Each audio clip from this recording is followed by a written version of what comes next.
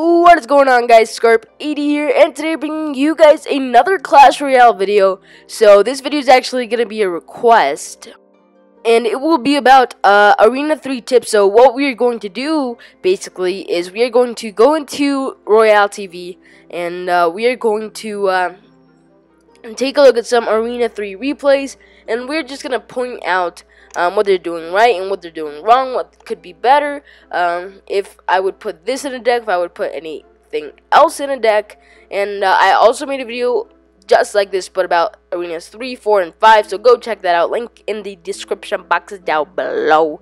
Um, so yeah, let's get started. Let's go have some fun. And uh, let's look at a couple of replays.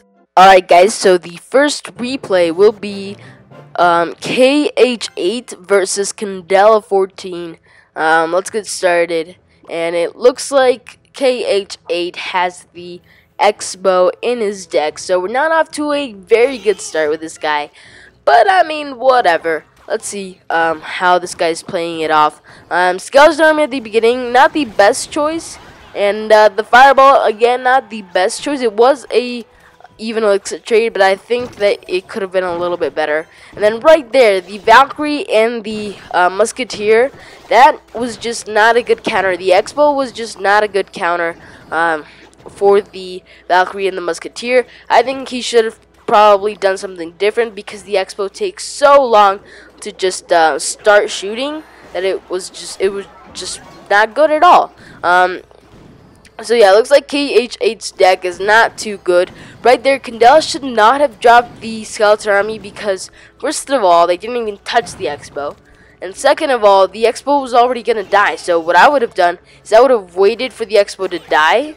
And then I would have, um, and then I would have done something different. But because he placed um, the, the Skeleton Army now, his tower is going to get taken out. And, um, and that's what you get for not placing good troops in the right time and stuff. So Hog Rider going in on the left, he's gonna get quite a good amount of damage.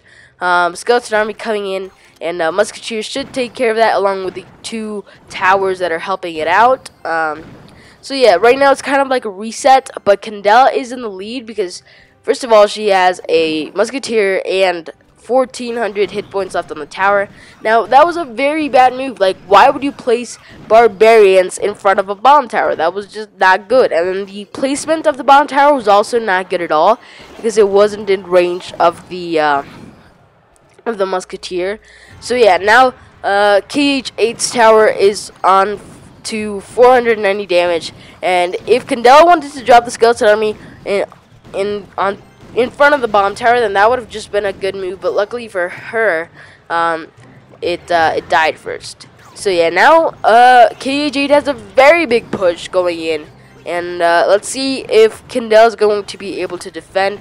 Yeah, taking out those uh, Spear Goblins first. But the Giant is going to be so tanky for the uh, for the Goblin Barrel that that's going to be just very, very good. And uh, right now, he had the right idea. I would have indeed placed my knight to distract the bomb tower while my skeletons were maybe able to get something off.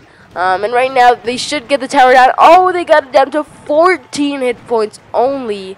And, um, and only 8 seconds left. Let's see who's going to win. It's going to be very, very hard to defend this.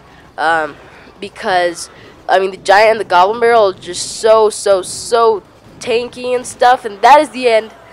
That is right. That is the end.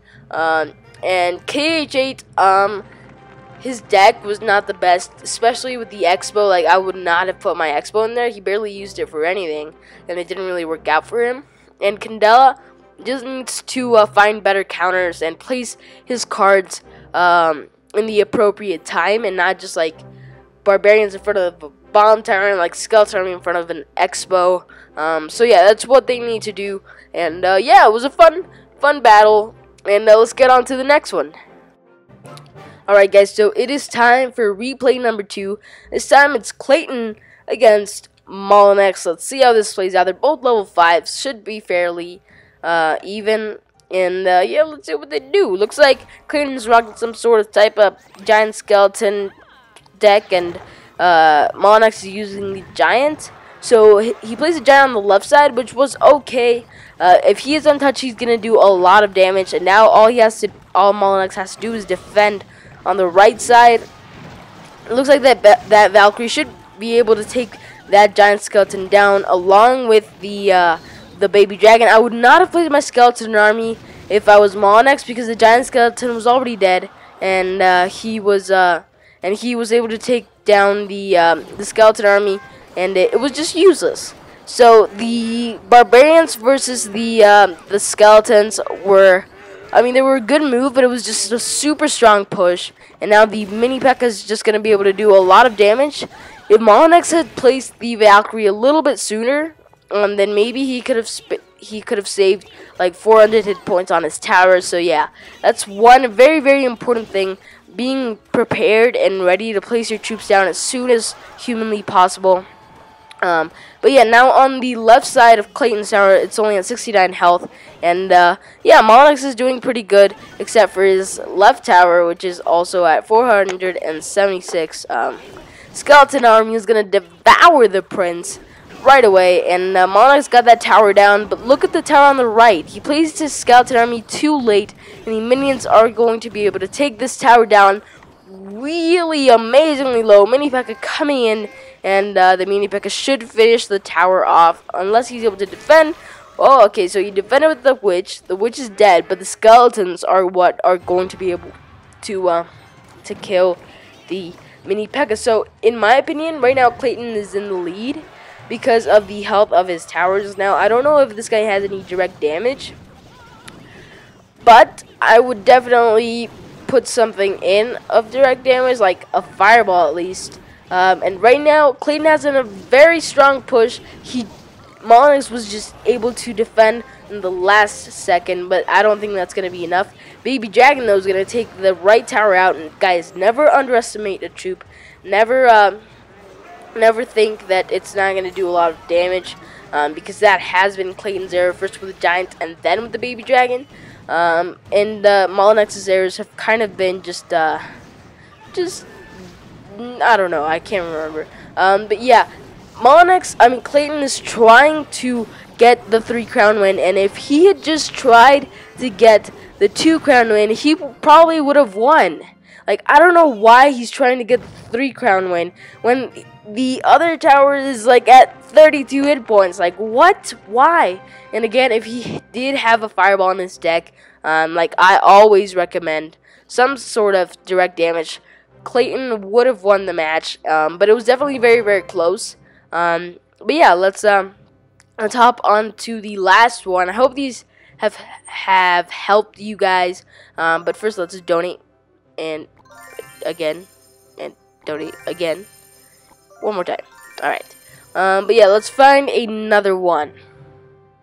All right, everybody. It is time for the last battle of today. That's right. That's right. That's right. Dab on him is going against Abu. Uh, let's just call him Abu. Um, and Abu's a level 5, and Dab on him is a level 4, so this should be very interesting. Giant with the Musketeer on the right side, Baby Dragon with the Musketeer on the left side. Giant with the Musketeer is going to do more damage, obviously. Um, and uh, this guy's Dab on him is trying to defend. He's doing pretty well, but the Giant Giant in the lower arenas is just so incredibly OP. Guys, just throw him in your decks. I am in Arena 6 right now, and I have a Giant deck, and it works insanely well. You just, it's just great. It tanks for all of the troops you might need, and uh, yeah. So right now, Abu has a Prince going in on the right side. I don't know why Dab on him decided to just let it go, but it was probably the good, uh, the smart move, because he because Abu had a rocket.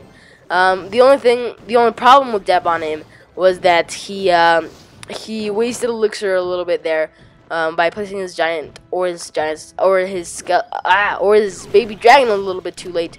The bomb tower placement not the best, not really the best. I would have placed him in the middle. That way it would take the giant a little bit longer to get over there. And now the skeletons against the giant. Mini P.E.K.K.A versus giant. Mini P.E.K.K.A versus Giant. Mini P.E.K.K.A versus Giant. Mini P.E.K.K.A was able to win because of the skeletons and the um, musketeers. So right now, Abu is doing quite a bit of damage on the King's Tower, but Dab on him is doing a lot of damage on both of his towers, and uh, that was a very good push again. Giant Musketeer um, push, and uh, right now, look at the health of a King Tower. It's not good at all. Um, but yeah, uh, I think that uh, Abu is on the right path right now. The Giant will get very close to taking on that tower. Baby Dragon versus Skeletons. Die, Skeletons, die. He's going to rocket that, which is going to leave it at 50 hit points. And the Baby Dragon is to try and uh, take the tower out. But he defended with a Giant and a Mini P.E.K.K.A And uh, minions and stuff like that. So right now, Dab on him is to ignore the Giant on the right side, which was a very bad move. Um, and that's to cost him his tower right there. And then the Musketeer is going to get the last shot while the rocket was in the air. If he had thrown the rocket just one second earlier, he would have gotten the three crown victory and he would have won. What a great match. Very, very close. Dab on him was under leveled, but he was able to win that match. Um, that was great, guys. That was great. I I do really enjoy making these types of videos for you guys. Um, also, I think that you guys enjoy these types of videos because, for example, my Let's Plays don't get as many views and stuff. So, yeah, that's fun. Um, but yeah, um, I hope you guys enjoyed this video. If this video did not help you because, I don't know, maybe you're in Arena 4 or something, then you guys need to subscribe because that means that you need more tutorial videos and stuff like that. Um, so yeah, subscribe if this didn't help, and if it did, give me a like and comment down below. Uh, but yeah, once again, Scarp80 out.